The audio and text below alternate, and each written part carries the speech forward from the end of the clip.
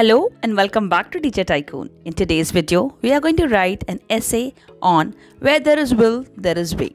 It's a 300 to 350 words essay. Without wasting any time, let's get started with the video.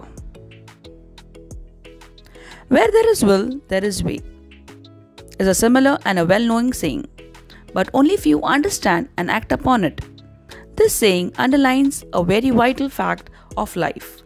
Man is ambitious, he is full of desires, but all of them are not fulfilled because they lack the force of willpower.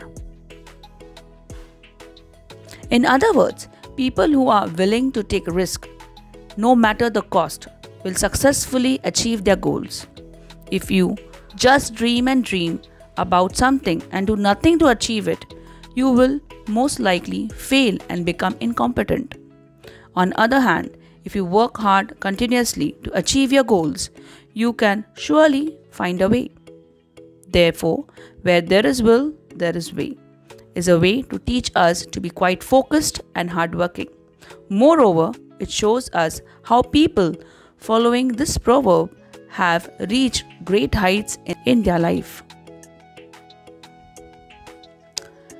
There are many instances of people who have attained greatness in spite of being poor or handicapped. Lincoln was born very poor, yet his determination helped him to educate himself and become the president of USA. In our own country, we have similar examples of Lal Bahadur Shastri, Gandhi ji, Savitribai Phule, and so many. Helen Keller managed to become a graduate and a writer in spite of her blindness, dumbness, and deafness.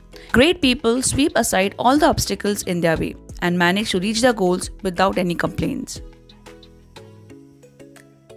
In, in a nutshell, if people are unsuccessful in life, they are only themselves to blame for their failure. Only those who are weak will complain about their difficulties and stop trying to do great things. Difficulties are nothing but stepping stone to success in the case of strong-willed people. To weak people, to weak-willed people and lazy people, they are stumbling blocks. So success or failure in life depends entirely on the will of the man.